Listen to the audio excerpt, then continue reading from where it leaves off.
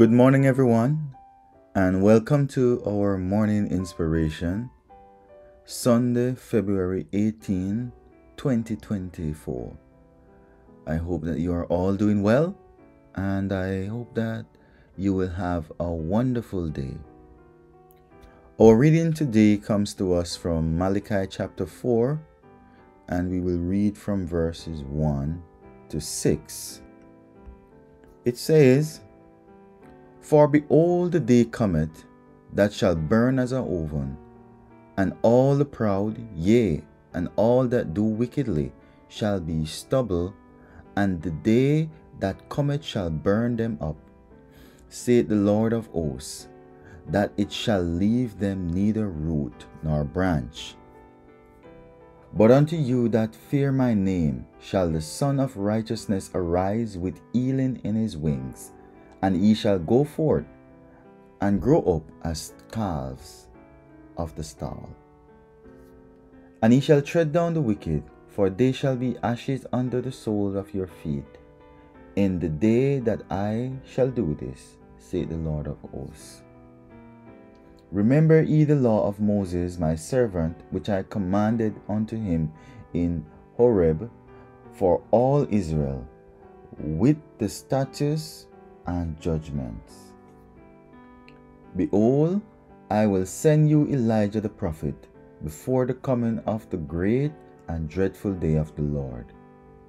And he shall turn the heart of the fathers to the children, and the heart of the children to their fathers, lest I come and smite the earth with a curse. And I say, Amen. We give God thanks this morning for His word of wisdom and His word of reproof. Now, Malachi chapter 4 is a very prophetic chapter. It, it talk about what will happen in the last days. It says that, Behold, I will send Elijah the prophet before the coming of that great and dreadful day of the Lord. And also that it will turn the heart of the fathers to the children and the heart of the children to the father, lest he will come and smite the earth with a curse. That's Malachi 5 and 6. Now, the words of Malachi and this prophecy regarding the work that should be done prior to the first and second coming of Christ. It tells us that it prepares the way for his second coming. And those who are preparing the way for Christ's second coming are represented by Elijah. So we are Elijah in our time. We are represented as Elijah here. And we are to prepare the way for his second advent. So, just before Jesus came on the scene the first time, who was there preparing the way for his coming? John, right? So John the Baptist was the one that was preparing the way for Jesus' first appearance on the scene. Now, our message it must be direct. We can't beat around the bush. We have to tell people the truth. It doesn't matter their status in life. It doesn't matter their position, whether they are kings, prime minister, governors, whoever they might be. We must make sure that we call sin by its rightful name. And we must let people know that unless they repent and turn from their wicked ways, that they will be destroyed. That is the reality of the situation.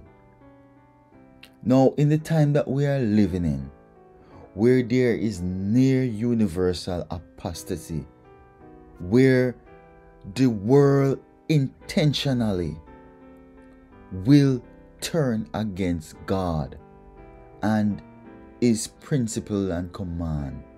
We, as God messengers, must proclaim His law in the spirit of truth and the power of our Lord Jesus Christ.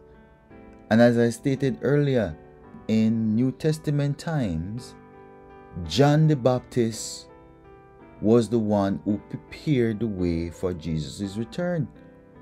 And he had to stand up against kings and leaders at the time, putting his own life at risk for standing up for the truth. And in the same way, we have to stand up for the truth. We have to make a stand. We have to call people's attention to the Ten Commandments. We can't beat around the bush with this message. We have to give the gospel a certain sound, as the saying goes. We have to let people know that they need to fear God and that they need to give glory unto Him, God Creator, because we are living in the hour of judgment. Revelation say that the hour of his judgment is come. And so we need to point them, we need to point their attention to God who is able to save them, who is able to save us. The hour of God's judgment has come. When you look at everything that is happening in the world, members of the church, the hour of God's judgment has come. It is our responsibilities as members of God Remnant Church to proclaim the gospel in a very timely, loving, but also a very profound way. We must understand that God is expecting us to do our part to help folks understand that He is on His way. Right? And so we cannot relax ourselves. We cannot choose not to do it well.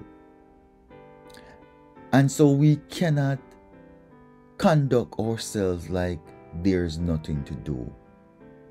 There is something for each of us to do. And so, as we seek to share the gospel with those we come in contact with, as we seek to tell the world of Jesus' soon return, may we allow the Holy Spirit to lead us and to help us to walk in the light and to remain focused and steadfast in our faith. Because soon and very soon, our Lord Jesus Christ, whom we have long waited for, will come and he will not tarry. May God continue to bless you and may God continue to keep you. Amen.